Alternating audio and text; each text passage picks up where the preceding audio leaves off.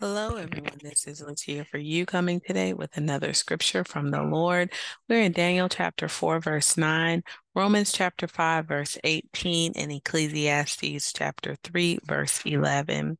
Let's go ahead and pray and we can get started. Thank you, Father God, for your word. Thank you for mm, just opening our eyes to the reality of sin and death and darkness, and also opening our eyes to the reality of the light in Christ. We love you. We give you glory. We ask you to forgive us for all of our sins. In Jesus' name we pray. Amen. All right, you guys. Daniel chapter 4, verse 9. O Belteshazzar, chief of the magicians, because I know that the spirit of the holy gods is in you, and that no mystery is difficult, too difficult for you. Tell me the visions of my dreams that I saw and their interpretation.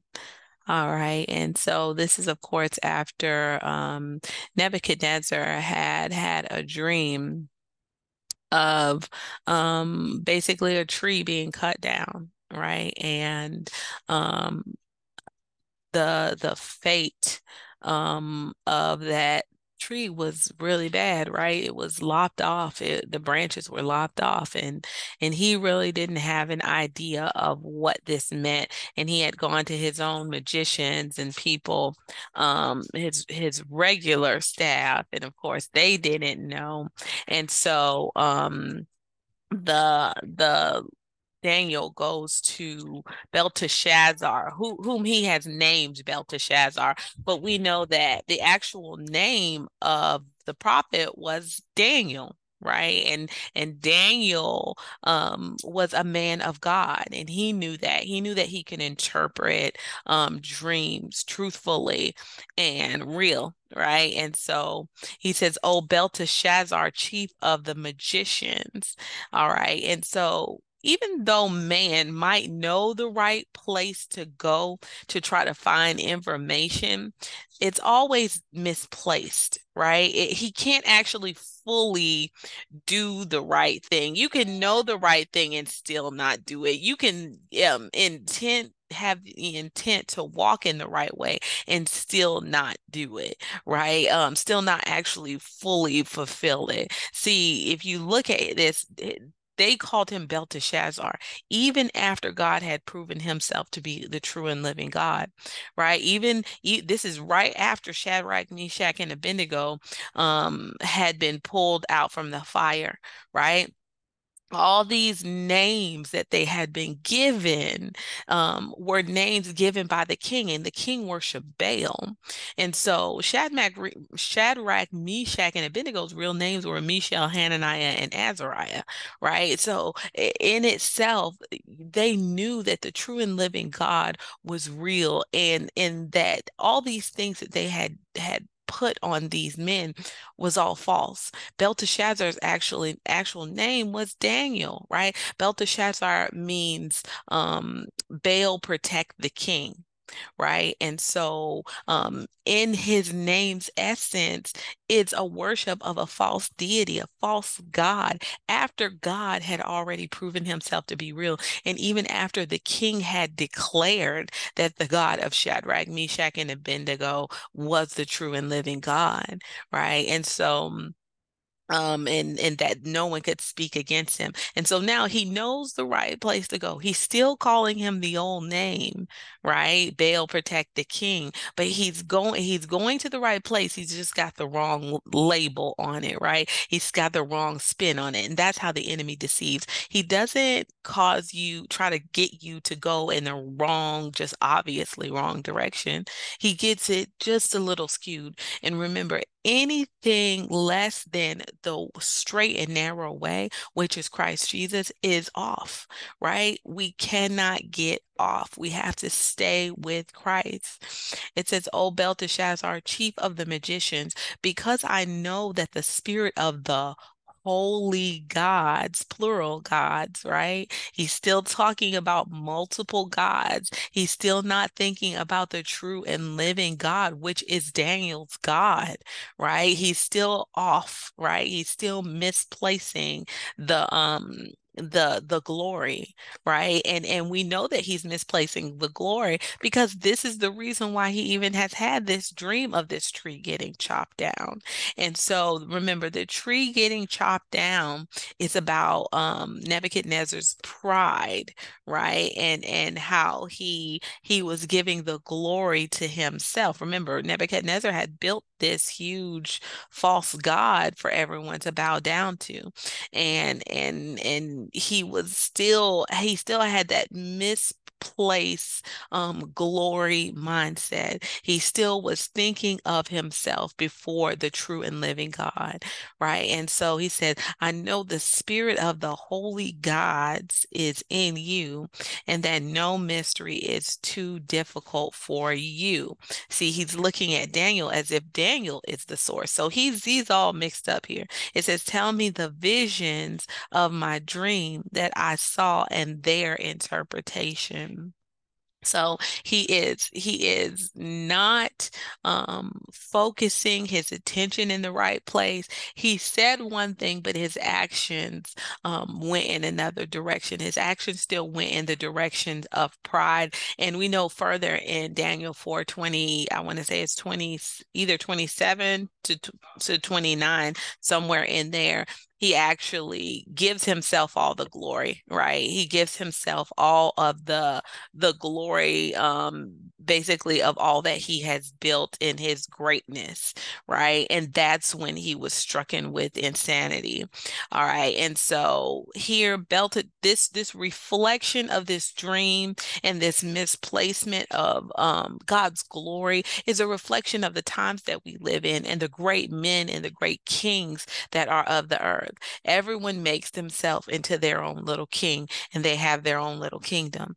Um, all of the, everybody from the bottom to the top, right? And everybody's in charge of their own little kingdom, even all the way up to the presidents and the kings and everybody, you know, looks at themselves as if they are the one to be glorified, right? In this type of worldly mentality. And so we all have little shrines to ourselves and little, you know, um, if you think about some social media type things are are basically like shrines to people's selves right? Um, um, glorifying ourselves and our achievements. And so if you think about that in that way um, it's just like with nebuchadnezzar but with nebuchadnezzar god caused a great fall to occur and that's the same thing that is soon to come with this world right? Um, the seven years that nebuchadnezzar was grazing in the field um, like a cow um he he lost his position he lost his place um it said the dew of heaven rested upon him the dew of the sky um and basically he was out in the wilderness just acting insane but those seven years represent the seven years of tribulation that are soon to come on the earth where the great will be brought low and so that humblingness that that humbleness that humility um, that is going to be put upon man is going to force many to see themselves um, as they truly are um, of the dust, of the dirt, right? And so um, that is the interpretation that Daniel gave him. Daniel basically hoped that it was for his enemies and not for him, um, but it ended up being for him um, because 12 months later, after the fullness of time, um, that they he he spoke more words of pride about himself and boasting and he was put down right? After the appointed time he was put down and he he was out in the field but god restored him back to his place. And so um over time after those seven years of basically what reflects tribulation. All right, the second scripture today is Romans chapter 5, verse 8. Therefore, as one trespass led to condemnation for all men, so one act of righteousness leads to justification and life for all men. All right. And so um it, this is talking about uh, the act that Christ committed, right? The act of um well, it's first talking about Adam's act and then Christ's act. And so with Adam, one act led to condemnation, right? That the eating of the fruit that they were told not to eat of. So that one act led to condemnation, but in the same way, the one act of um of um, Christ led to justification right? And so, but his was even greater, right? Because he though it was one act, it led many men to to commit much sin, right? But Christ's one act of righteousness covered all sin. So Christ's act was actually greater because it was one act which covered a multitude of sin. And so we know that, you know, this world is coming in for a great fall, a great humbling, um, and uh, for many, a great destruction. But Christ is still God. He is still the Lord, right? Though many will misplace the glory for all of the wrath that is being poured out um, into different places. And many people will even curse God. Um, God will still get the glory, right? God is still God. God is still over all. And Christ is still the Son that He sent. So He is still the way, even in the midst of the tribulation. All right. And so, um, the third verse that the Lord gave me was Ecclesiastes chapter 3, verse 11. He has made everything beautiful in its time. Also, He has put eternity into man's heart, yet so that he cannot find out what God has done from the beginning to the end. So here, this is just speaking of um, the fact that, you know, God is is a God who is gonna cause um, the good to come out of the bad. He works all things together for the good of them that love the Lord and are called according to His purpose. So even with Nebuchadnezzar, um, he had given God the glory, but he had so much pride in him that God had to put him in a position where he turned to God, right? And so it was a great humbling for a great man. And so, um, but he did turn to God. And so it says, um, he has made everything beautiful in his time. So it took a matter of time. It took him seven years of being in this place of humbling um, in in order to to be lifted up again. And in the same way, many of the people of the tribulation, it will take this great humbling humbling in order to reposition position them um, to to be received again, right? Or to be received at all if they had never received Christ. And so it says he has made everything beautiful in its time. So it, there's a time that's going to pass, but um, there is still hope.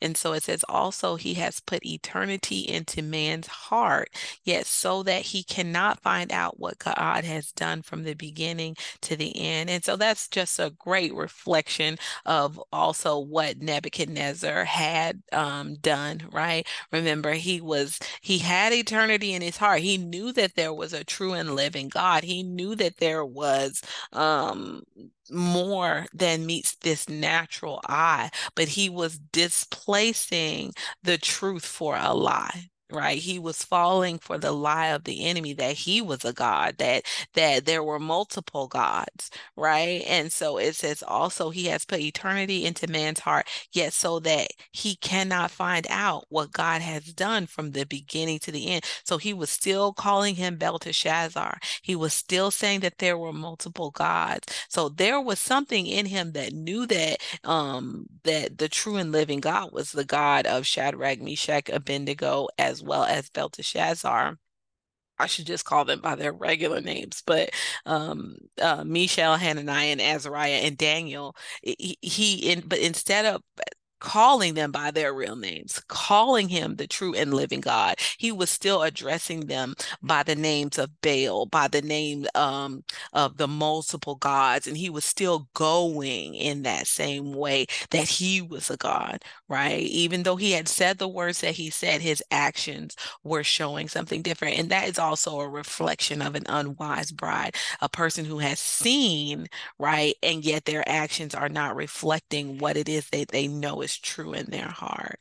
And so, um, but the the same Lord is the Lord over all of us, right? Um, it doesn't matter if you're if you are you said it wrong or you did it wrong. He's still God, right? He still knows the truth. He still um is is sovereign. And so when you do come back to your right mind, when you do begin to walk in His ways, He can still receive you back as long as there is still time, right? Um, during that seven years tribulation, of course, that there are there will be a moment of of ability to come back to God, right? And as long as they don't receive the mark, they can they can be restored to God and they can repent, call upon the name of the Lord, right? All right, you guys, let's pray. Thank you, Father God, for this word. Thank you for salvation, safety, truth love that comes from you. We know that you are the true and living God. We say hallelujah. We say, All glory be to the true and living God, the God of Daniel, the God of Mishael, the God of um, Hananiah and the God of Azariah, the God of the Hebrews. That is who we worship. That is who we give our praise to. Forgive us for ever being prideful. Help us to walk in your ways and come to true repentance before it is too late and we are in it and and people are forced to be humbled in tribulation. God, in the name of Jesus and help those people who are in tribulation to be humbled and return back to you, God. In Jesus' name we pray. Amen. All right, you guys, take care and be blessed.